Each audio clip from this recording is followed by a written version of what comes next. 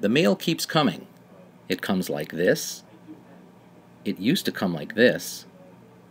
It even came like this. But now much of how we connect with one another comes like this. This week's mail deals with a recent column about Evesham School Board member Rosemary Bernardi's anti Semitic comments during a board meeting last month. Margaret Burns of Evesham called for Bernardi's resignation, adding that Evesham's no place for someone with those types of thoughts. James Branford of Evesham described Bernardi's continued presence on the board as, quote, insulting beyond comprehension, end quote. This week, the Evesham Township Council adopted a resolution calling for Bernardi's ouster, and Chris Brown of Evesham was one of two New Jersey assemblymen who demanded Bernardi's resign as vice president of the state's school board association. So whether readers' opinions are delivered like this or like this, what's important is that opinions are being shared.